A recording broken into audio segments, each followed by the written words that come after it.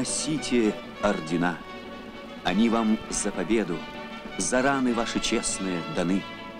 Носите ордена, в них теплятся рассветы, что отстояли вы в окопах той войны.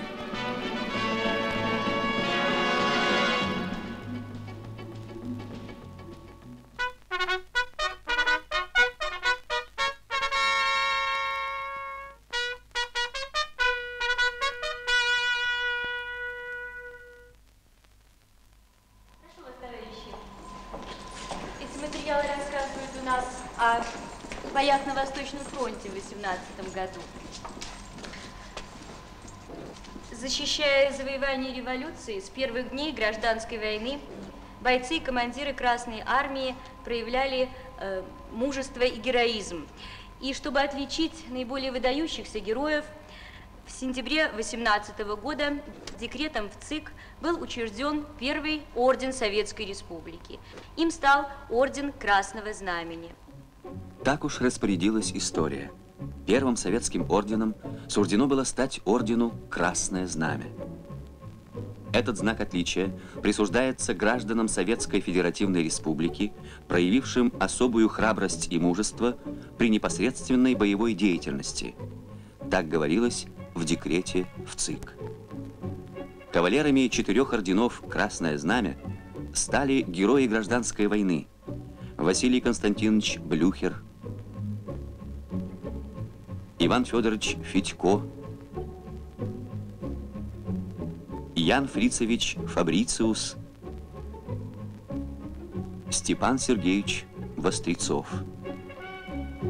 В апреле 20 -го года в ЦИК утвердил почетное оружие как награду исключительную. Им награждался высший командный состав рабоче-крестьянской Красной Армии. Наградное оружие украшал знак ордена Красное Знамя. Следуя примеру Российской Республики, правительства Азербайджанской, Армянской, Бухарской, Украинской и других республик учредили свои ордена. Ими награждались бойцы и командиры Красной Армии за отличие в борьбе с интервентами, белогвардейцами и бандами басмачей.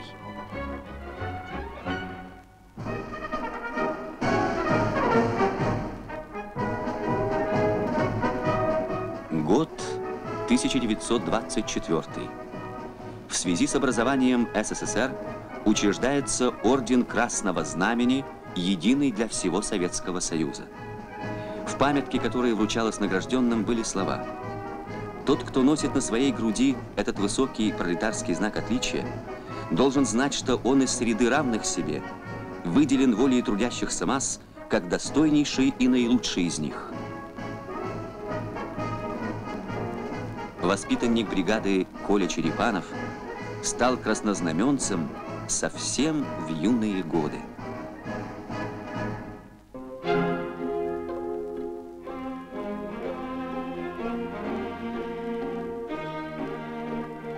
В боях с врагами героические подвиги совершали не только отдельные бойцы и командиры, но и воинские части и соединения.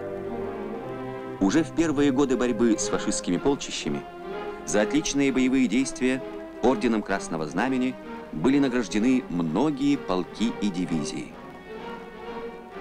Награжденные части именовались краснознаменными.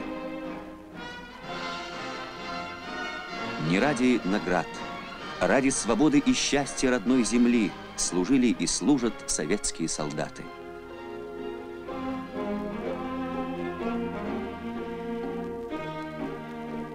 Подвиги генерал-лейтенанта Бурцева в годы войны Родина отметила многими наградами. А в 1967 году за успехи в освоении новой сложной техники и поддержании высокой боевой готовности ему первому был вручен седьмой орден Красного Знамени. Товарищи, год 40-летнего юбилея победы над фашистской Германией заслуженная боевая награда нашла своего героя, ветерана Великой Отечественной войны, товарища Шаурка Ивана Леонтьевича. Указом Президиума Верховного Совета СССР от 19 сентября 1942 года он награжден Орденом Красного Знамени. Товарищи, разрешите мне от имени Президиума Верховного Совета СССр вручить Ивану Леонтьевичу Орден Красного Знамени и поздравить его с высокой правительственной наградой. Над страной Советов уже 40 лет мирное небо, а боевые награды до сих пор ищут своих героев. Нашла награда и бывшего участника Сталинградской битвы, ветерана труда, прославленного шахтера Ивана Леонтьевича Шаурка. Служу Советскому Союзу. Благодарю партии и правительству за высокую награду и за заботу о ветеранах войны. Великого времени, дети. Мы столь же в великом ответе за все, что в 20 столетии случится на этой планете.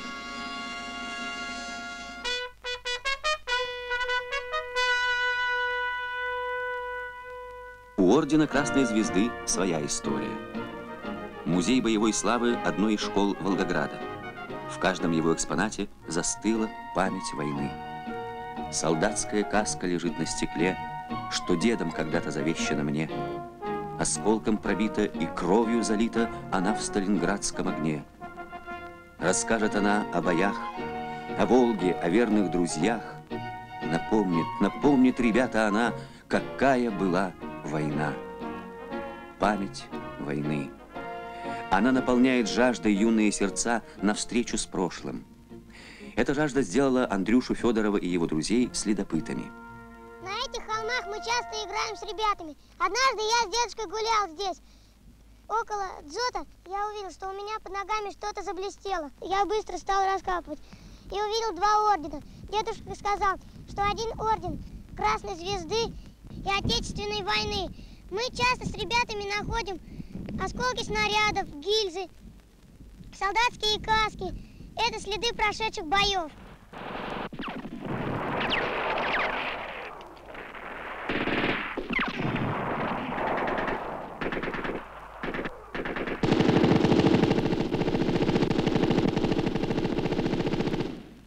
У Вани Андрианова детство было иным, нежели у Андрюши Федорова. В школьном возрасте он уже совершил боевой подвиг. Ребята, это было в 1941 году. Деревня Новомихайловская, Подмосковье. Мне тогда, так же как вам, было 13 лет. Фашистам недолго пришлось хозяйничать в нашей деревне. 6 декабря 1941 года наши войска перешли в решительное наступление под Москвой. И вот ранним утром 28 декабря я заметил, что фашисты начали спешно подтаскивать в один из сараев боеприпасы, пулеметы, и я решил разведать, что, что же фашисты затеяли в этом сарае. Когда я подошел к сараю, то вдруг неожиданно ворота открылись, и передо мной оказался здоровенный немец. Дорив, недолго думая, втащил меня в сарай. В сарае горел костер, была выпилена амбразура для пулеметов. Там были поставлены пулеметы на направлении наступающих наших войск. Ну, я побыл в сарае недолго, прикладом по затылку я был вышвырнут из сарая.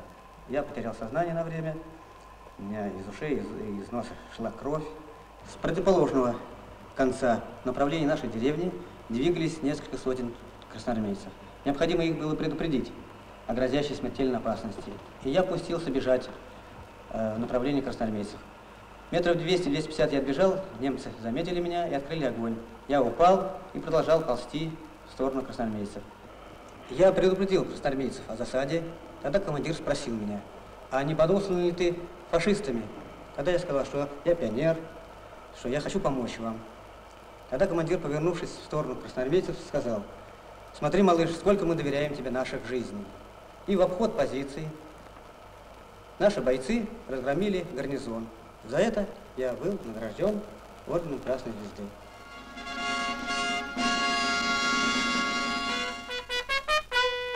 Весной 42-го был разработан проект ордена, который мог получить особо отличившийся в бою от рядового до генерала. Таким орденом стал Орден Отечественной войны. Впервые в истории советской наградной системы в указе перечислялись конкретные подвиги, достойные Ордена Отечественной войны.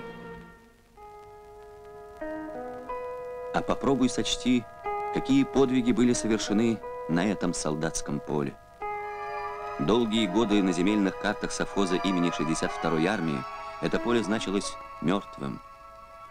В августе 42-го, когда фашистские танки прорвались в Сталинград, сюда была брошена группа бойцов. Перед ними стояла задача остановить врага. Враг был остановлен. По сей день здесь сохранились следы яростного многосуточного боя, родимые пятна которого хранит эта полынная земля.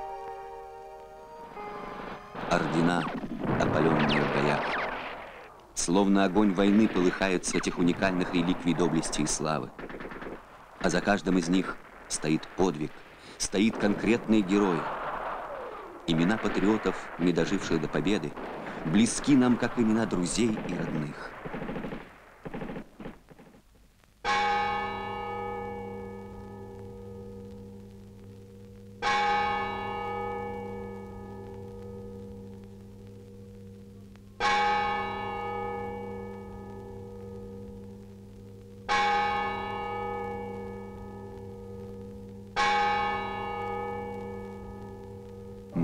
Материнской скорби нет предела.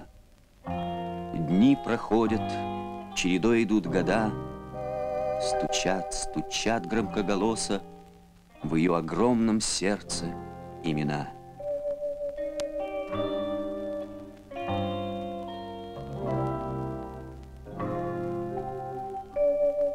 Живые и павшие — это все ее сыновья. Железный ветер бил им в лицо, а они все шли и шли вперед. И снова чувство суеверного страха охватывало противника. Люди шли в атаку, смертны ли они?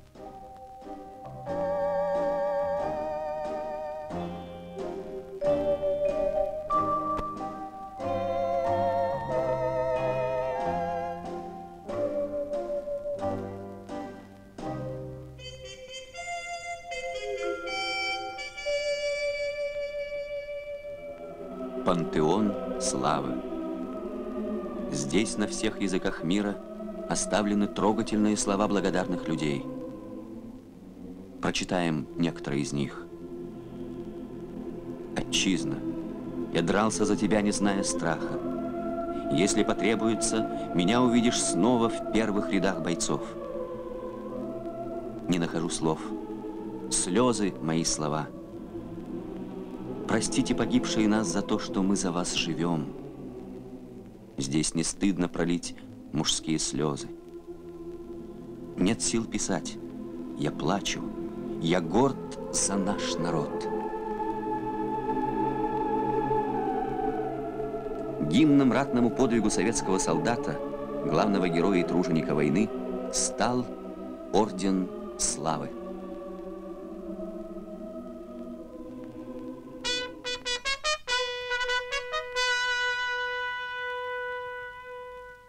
Около двух с половиной тысяч советских воинов стали кавалерами трех орденов славы. Среди них четыре женщины. Медсестра Матрена Ноздрачева.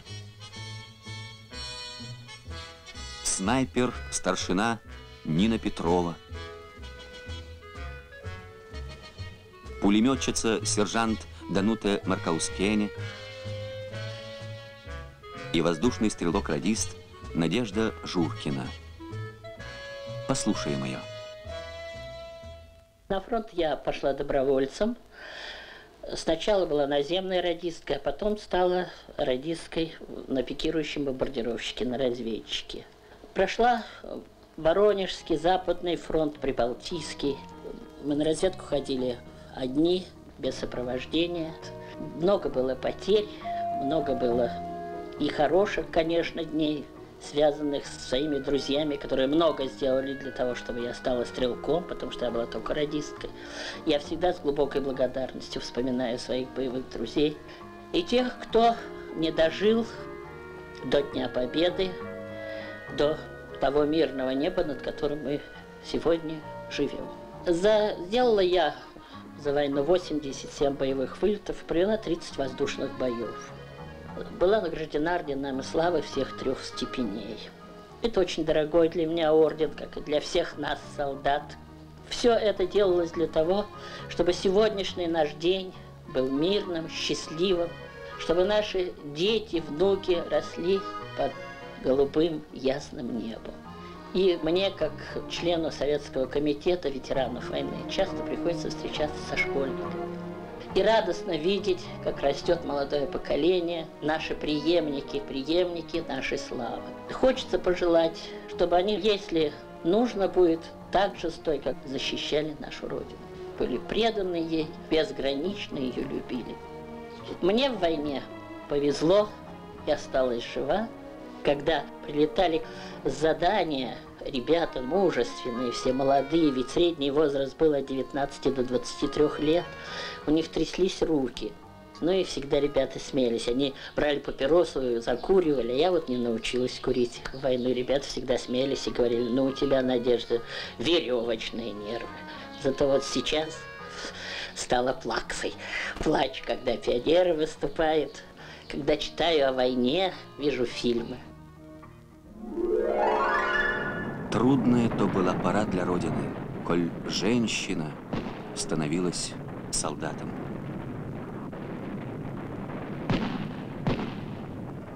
В жестоких испытаниях их сердца не ожесточились, не зачерствели и не обуглились. Они сохранили нежную женственность и передали ее своим дочерям. Хозяйки нашей жизни. Истоки нашего уважения к вам в том действительно самоотверженном труде, который вы вкладывали и вкладываете в бесчисленные добрые дела на земле.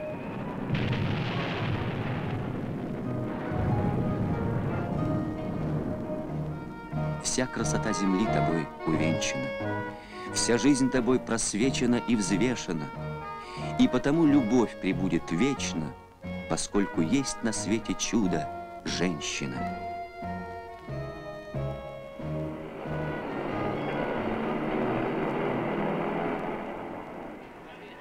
Награды Родины.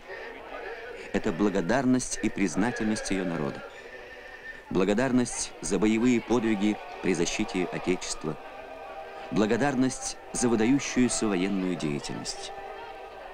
В этом отделе военторга всегда многолюдно. Сюда приходят генералы и рядовые, ветераны войны и те, кто совершил ратный подвиг в мирные дни.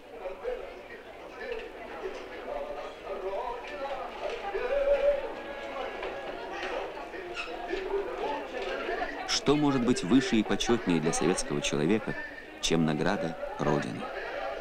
Носите ордена и в праздники, и в будни, на строгих кителях и модных пиджаках. Носите ордена, чтоб видели вас люди, вас, вынесших войну на собственных плечах.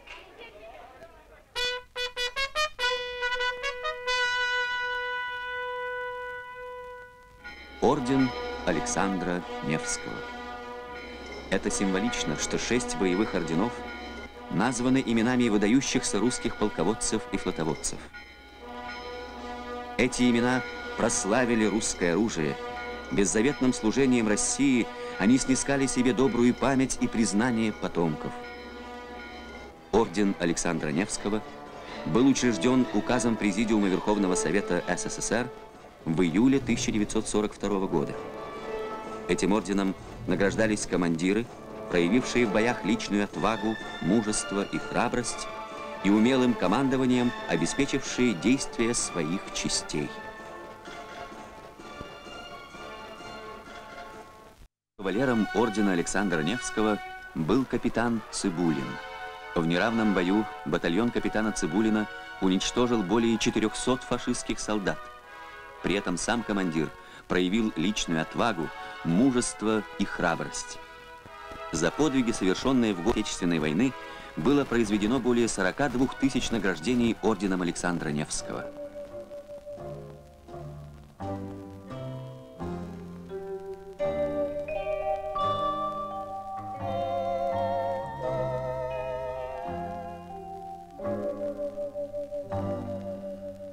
Отец, поменяемся возрастом. Тебе мои двадцать, мне твои шестьдесят. Взамен всех бессонниц твоих, твоих ран и штурма Берлина. Все твое я приму, как огонь на себя. Все возьму у тебя, кроме твоих орденов. Каждый сам, как высоты, завоевывает свои ордена.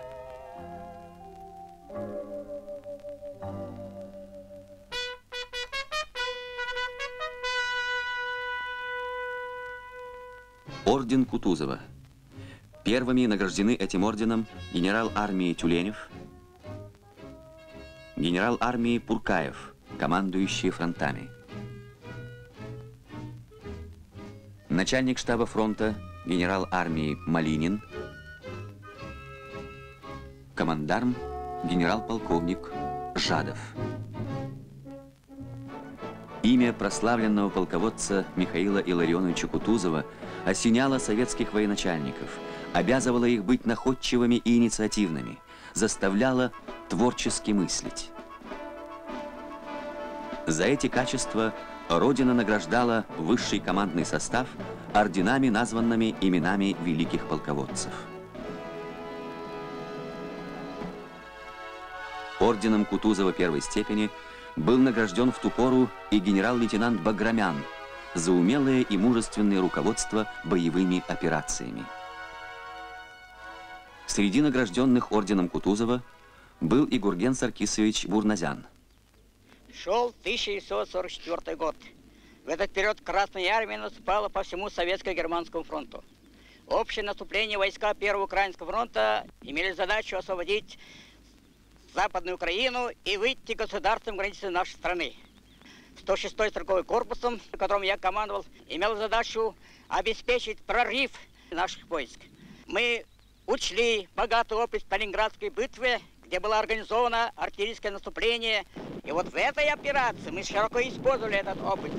И в течение 120 минут артиллерия разрушала, уничтожала всю систему обороны противника. В результате мощной артиллерийской подготовки оборона противника была прорвана. Это дало возможность нашей пехоте танков прорваться стремительно на Львов. В ходе успешных действий Львов был освобожден.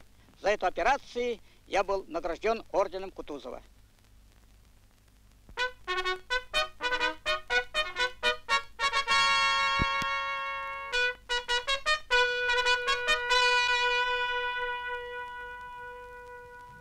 Орден Суворова.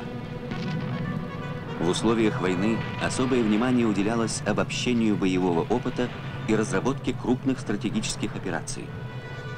Орденом Суворова первой степени за номером один был награжден маршал Жуков. Этим же указом награждались орденом Суворова советские полководцы. Василевский, Рокоссовский, Конев, Ватутин.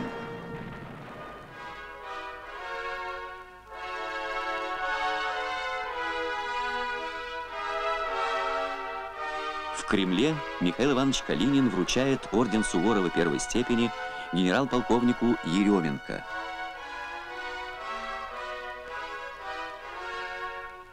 Орденом Суворова второй степени награждается генерал-лейтенант танковых войск Москаленко. А командующему третьей танковой армии генерал-полковнику Герою Советского Союза Рыбалка вручается два ордена Суворова первой степени, орден Кутузова первой степени и орден Богдана Хмельницкого –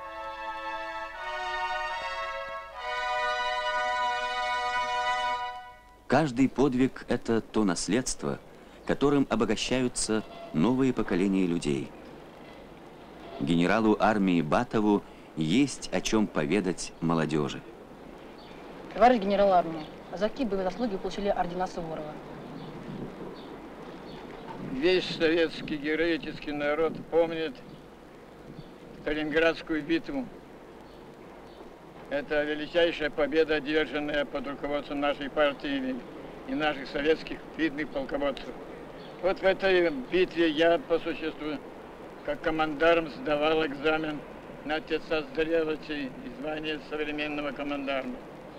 Наши войска проявили исключительный героизм в разгроме гитлеровских войск армии Паулюса на берегах Волги и Сталинграде. Я имел счастье и доверие высокое участвовать в этой битве на главном направлении и за успешные действия получил орден Суворова первой степени за номером 9. Второй орден за освобождение Белоруссии и третий орден Восточно-Прусская операция, вот в целом это Берлинская операция на Штатинском направлении. Берите пример с этого замечательного полководца Суворова. Помните даже одно выражение его. Каждый солдат должен знать свой маневр. Не замыкайтесь в узкое слово «солдат». Солдатом является и курсант, и офицер, солдатом является и генерал. Дорогие юные друзья, суворовцы, я к вам пришел как непосредственно близкий человек суворовцам. Я награжден тремя орденами Суворова первой степени за боевые отличия в период Великой Отечественной войны.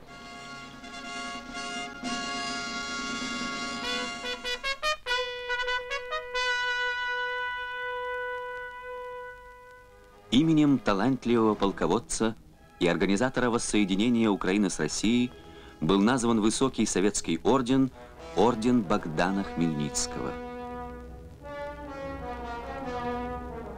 Спасение от врагов Украина найдет только в единении с русским народом.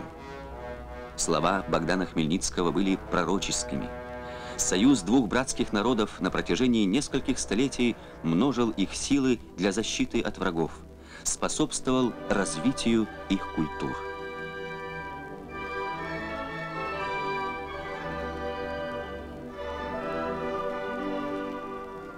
Среди награжденных этим орденом были представители всех народов нашей страны. От первого залпа «Авроры» до самого ближнего дня я двигался в гору и в гору, ничто не сломило меня. Я был и великим, и малым, убитым и снова живым, ведущим полки генералом и просто бойцом рядовым.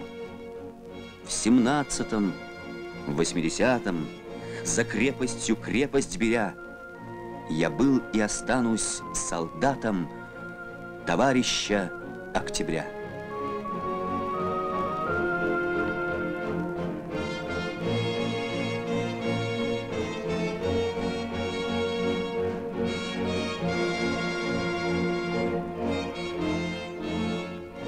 Говорят, без чувств все идеи холодны. Они светят, но не греют, лишены жизненности и энергии, не способны перейти в дело. Память. Вечный огонь жизни. Здесь хочется постоять, молча подумать, подумать обо всем, что было и есть, о том, что будет на земле. Кто знает, какие чувства испытывает внук генерал-лейтенанта Лукашевича, когда прикасается к подвигам деда. А для самого генерала только одна битва за Днепр – это целая история. Здесь, на берегу Днепра, он совершил подвиг, достойный ордена Богдана Хмельницкого.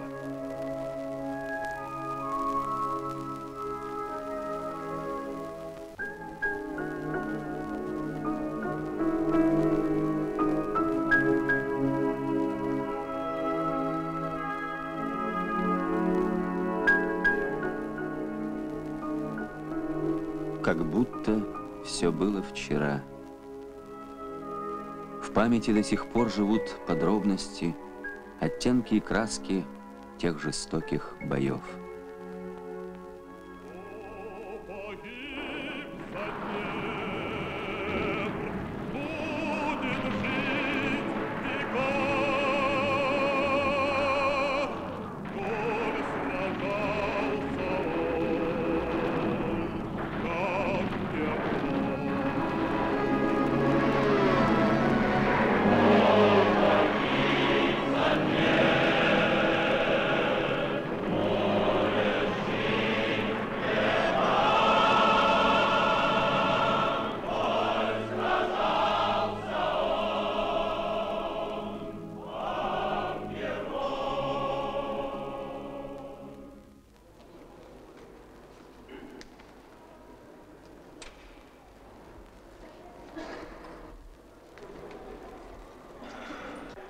Боевой путь советского военно-морского флота Это героический путь борьбы и побед, путь тяжелых испытаний.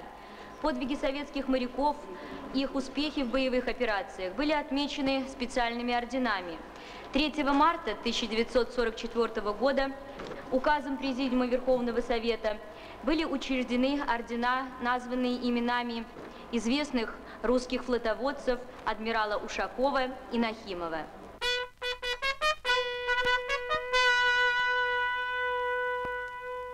Орден Ушакова первой и второй степени. Дважды кавалерами ордена Ушакова первой степени стали восемь человек. Среди них адмиралы Головко, Галлер, Кузнецов, Холостяков.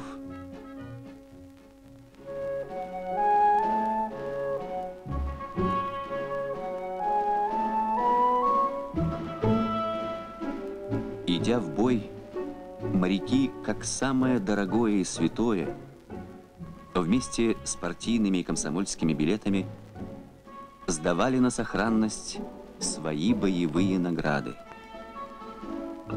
Сдавали и уходили совершать новые подвиги.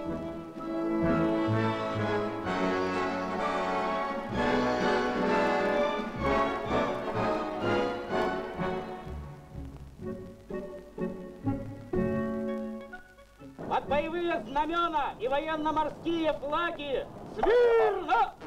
Верность флагу Родины – это одна из замечательных традиций наших моряков. Орден, названный именем русского флотоводца адмирала Ушакова, был учрежден для награждения офицеров военно-морского флота за выдающиеся заслуги в организации, руководстве и обеспечении морских операций. Более 250 адмиралов и генералов были удостоены ордена Ушакова и 12 частей военно-морского флота. Мы помним море в грозные часы, когда из жерл орудий било пламя. Взрывались пены белые усы за пролетающими катерами. Мы помним синеватый блеск торпед, что шли неотвратимо к вражьей цели. Мы помним флот в годину черных бед и молодых, что в битвах повзрослели. Мы любим с давних пор душою флот, дня распорядок, смелых дел безмерность, и никогда, должно быть, не умрет в любом из нас морскому делу верность. Нет, не стареют душой ветераны. Все было тогда, и горе, и боль утрат, все было. Но воспоминания о прошлом высекают у нас огонь, а не пепел, потому что было главное – обжигающее счастье боевых побед.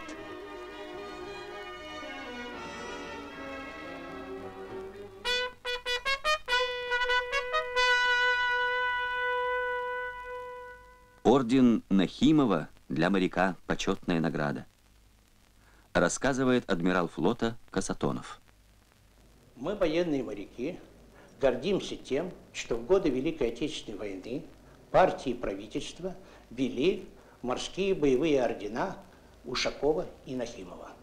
Мне посчастливилось быть награжденным орденом Нахимова за организацию, обеспечение и управление боевыми операциями на Тихоокеанском флоте. Награждение орденом Нахимова – высокая честь для военных моряков и продолжение традиций времен адмиралов Ушакова и Нахимова. На протяжении многих веков складывались замечательные традиции флота российского. Русские люди горячо любили свою отчизну и ради нее готовы были на любое самопожертвование. Безграничное мужество русских моряков стало одной из славных традиций –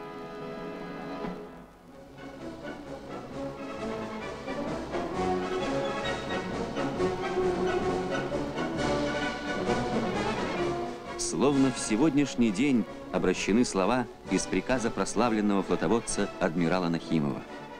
«Матросы, мне ли говорить вам о ваших подвигах на защиту родного Севастополя и флота? Я с юных лет был постоянным свидетелем ваших трудов и готовности умереть по первому приказанию. Мы сдружились давно. Я горжусь вами с детства. Отстоим Севастополь.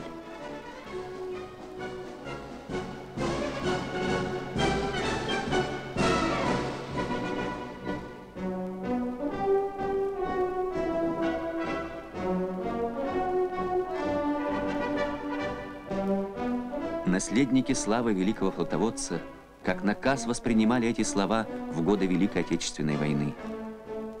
Они близки и дороги были тем, кто подвигами своими возвеличивал славу советского флота. Слова эти близки и тем, кто сегодня своим ратным трудом продолжает и множит героические традиции.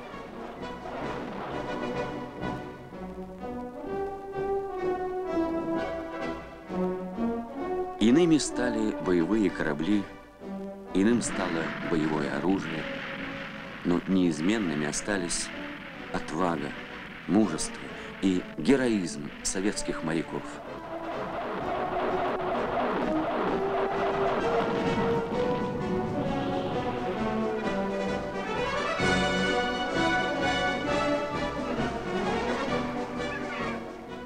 Юным нахимовцам рассказывает защитник Севастополя Григорий Доля.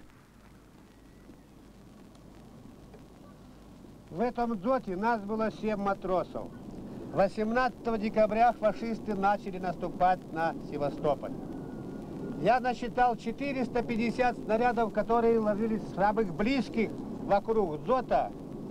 Земля поднималась вулканом, не успела осыпаться в землю, как говорится, поднимались новые фонтаны. Потом фашисты пошли в наступление.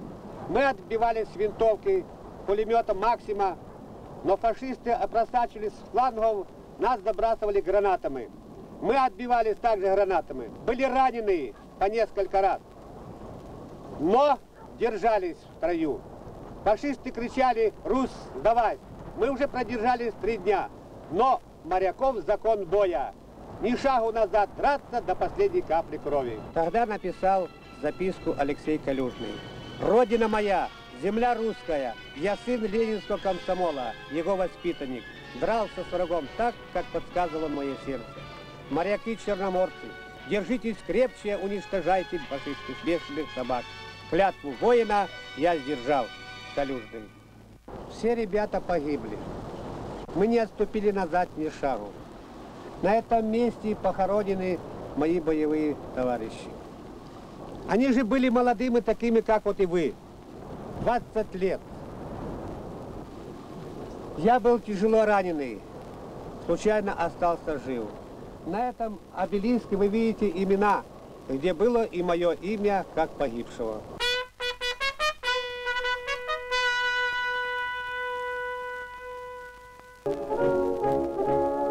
Великие свершения страны Советов, ее успехи и победы неразрывно связаны с мудрой политикой коммунистической партии, с именем великого Ленина. Не случайно поэтому Высшая государственная награда Союза Советских Социалистических Республик названа именем Ленина. Этой высокой наградой была удостоена в мае 1930 года газета «Комсомольская правда». Ей был вручен орден Ленина за номером один. То была сенсация. Небывалый международный женский рекорд – беспосадочного полета от Москвы до Дальнего Востока. Этот подвиг совершил экипаж самолета «Родина» в составе.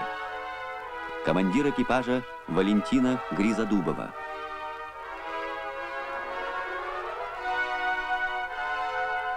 Второй пилот Полина Осипенко.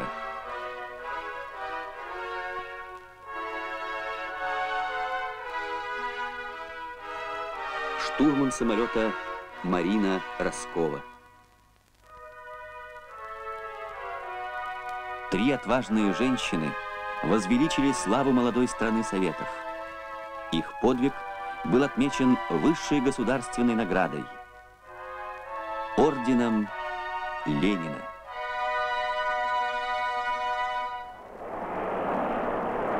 Награда, носящая имя Ленина – присуждается за особые заслуги в коммунистическом строительстве, при защите социалистического отечества, за заслуги перед государством и обществом.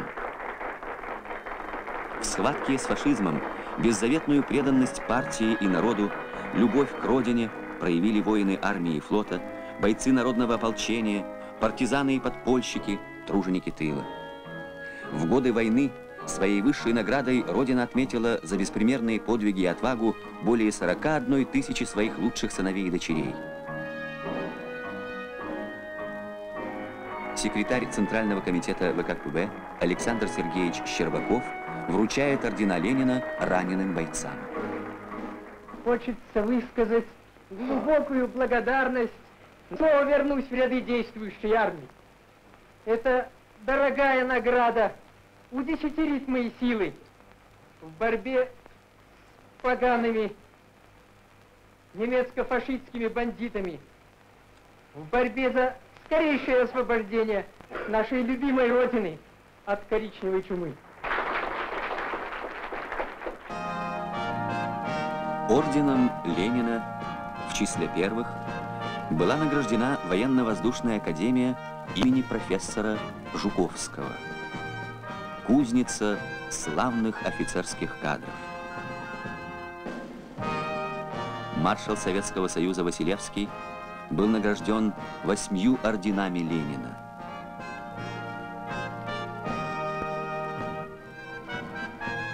Кавалером 11 орденов Ленина стал маршал Советского Союза Дмитрий Федорович Устинов.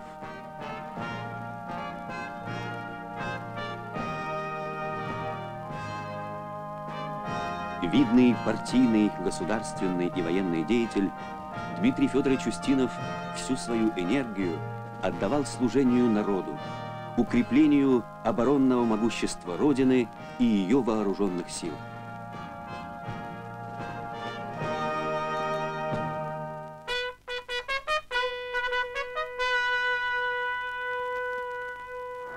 Орден за службу Родине в вооруженных силах СССР трех степеней учрежден для награждения особо кичившихся воинов в деле повышения боевой готовности и освоения новой сложной техники.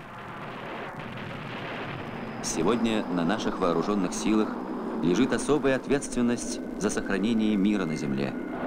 Мерой этой ответственности являются высочайшая бдительность и постоянная готовность дать отпор любому агрессору.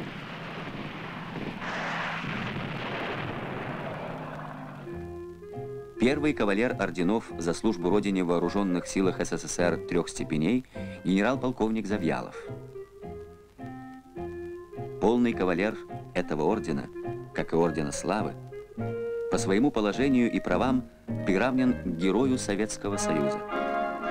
Он пользуется всенародным почетом и уважением.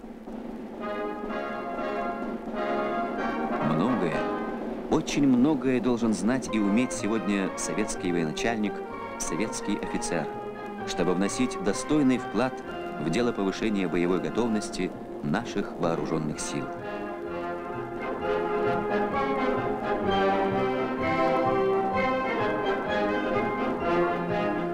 Полковник Лошкарев был шестым среди тех, кто удостоен всех трех степеней ордена за службу Родине в вооруженных силах СССР. Товарищ Лошкарев внес достойный вклад и в дело освоения новой сложной техники, и при выполнении интернационального долга.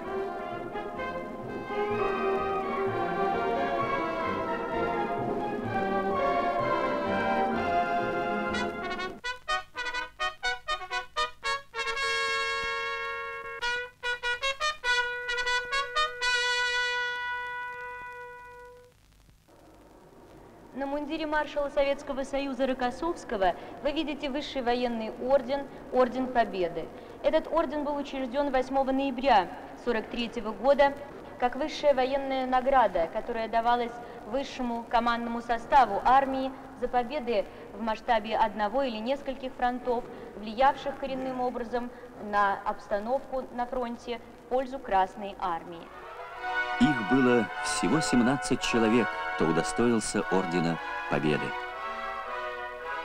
За номером один этот орден был вручен маршалу Советского Союза Жукову Георгию Константиновичу. Кавалерами Ордена Победы стали маршалы. Конев Иван Степанович, Рокоссовский Константин Константинович,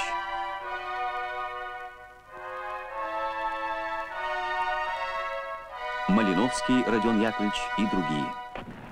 Победа! Это слово на одном выдохе горласто произнесла вся планета.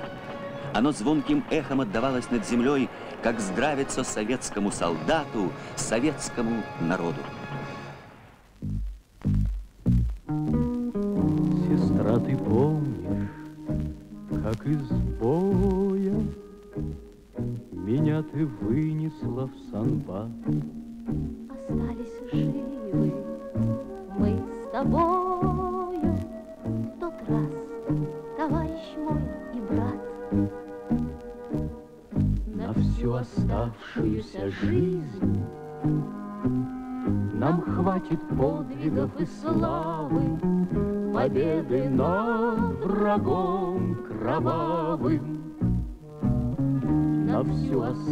Оставшуюся жизнь На всю оставшуюся жизнь Горели Днепр, Нева и Волга, Горели небо и поля. Одна беда, одна тревога, Одна судьба, одна земля. На всю оставшуюся жизнь Нам хватит горя и печали, Где те, кого мы потеряли. На всю оставшуюся жизнь на всю оставшуюся жизнь. Сестра и брат взаимной верой. Мы были сильными вдвойне, Мы шли к любви и милосердию В немилосердной той войне. На всю оставшуюся жизнь Запомним братство фронтовое, Как завещание святое. На всю оставшуюся жизнь, На всю оставшуюся жизнь